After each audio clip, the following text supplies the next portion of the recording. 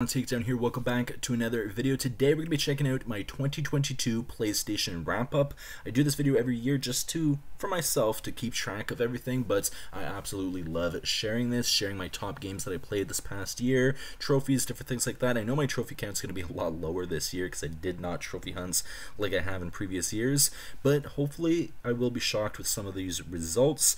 Uh, we're going to be checking it out. I will try to leave the link to the uh, wrap-up so you can check out your own in the description down below. But we're just going to check this out here and see how accurate it is. It's way earlier this year, by the way.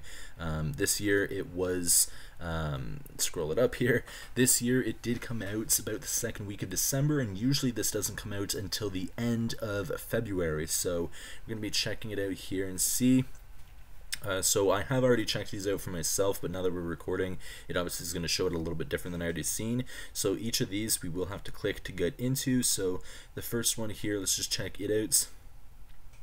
This past year I played, wow, I played a total of 932 hours. That is between both my PS4 and PS5. Once I got the PS5, I'm mainly playing that now.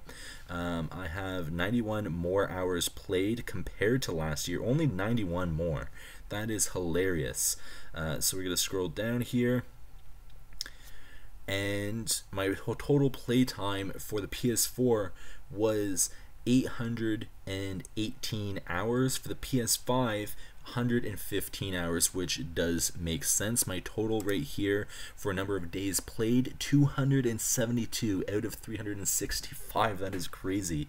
My local hours 859 compared to online 73. I do play a lot more local uh, offline games rather than online anymore. I don't really play with Jack or anybody anymore other than playing myself online for Apex or possibly sometimes GTA.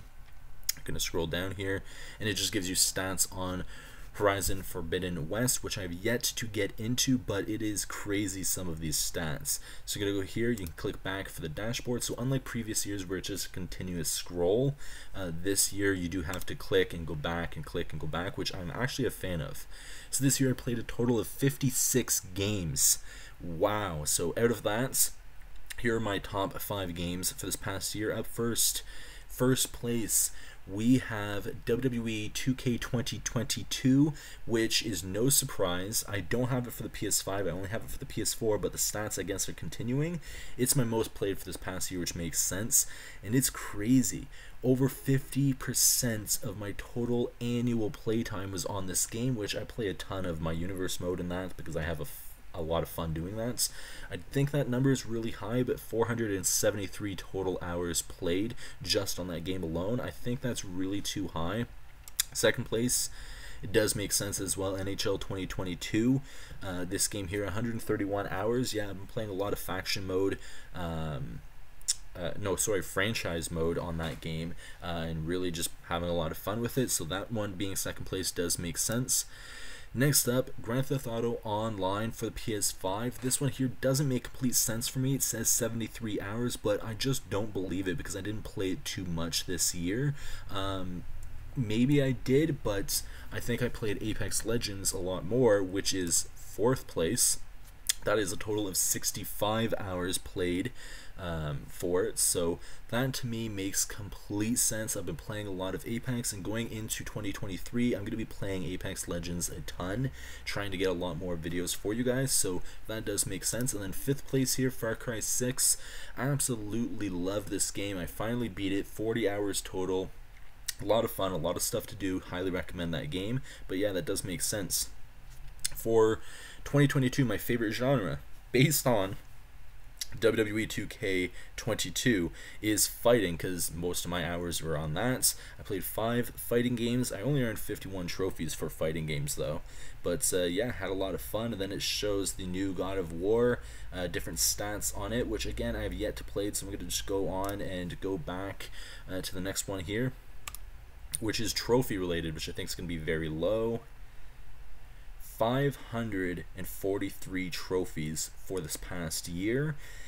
I'm gonna believe it. I think that's about right. Um, I was trying to get around a thousand, uh, a thousand to twelve hundred previous years. So this year I did not go anywhere close to beating my record. But honestly, I was not trophy hunting like I was in the past. Now I'm basically playing games on PlayStation on my PS5 games that I want to play, games that I'm having fun with, not just grinding out trophies and then getting bored of gaming in general. I'm playing games that I want to, so that makes sense. Uh, we did have a total of eight platinums this past year, so I didn't break my record there. I think my record for most platinums in a year is 16, so didn't come anywhere near that, about half of that. Uh, we did have 84 gold, 126 silver, and 325 bronze, so it does make sense.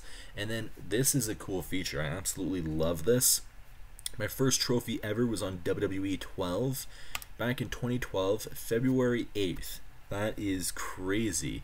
And then now Ratchet and Clank Rift Apart, which I just platinumed, and that game is amazing. Not only to platinum, it's a lot of fun, but the game, the story, everything about it is awesome. A true classic PlayStation game for the PS5, which is, which is great. Uh, this one here was recent, December 8th. Now, I did, obviously, that's probably around the time that they ended uh, collecting stats, so they can put this out very quick. But, yeah, this game here is a lot of fun. I highly recommend it. And then Gran Turismo 7 is a lot of stats for it, which again I have yet to play. Just gonna go back to the last category, which is PlayStation Plus here. Uh, this past year, because they combined PlayStation Plus with PlayStation Now, there was 833 games considered part of PS Plus, uh, depending on which tier you do have.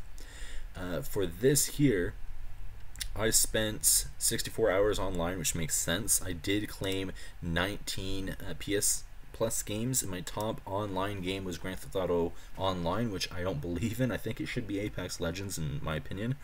Going down here, that's really cool that they decided to do that this year. So the top monthly games uh, was going to be uh, FIFA for PS Plus. It was offered in May uh, UFC 4, which is offered in February, which does make sense. That's a great game.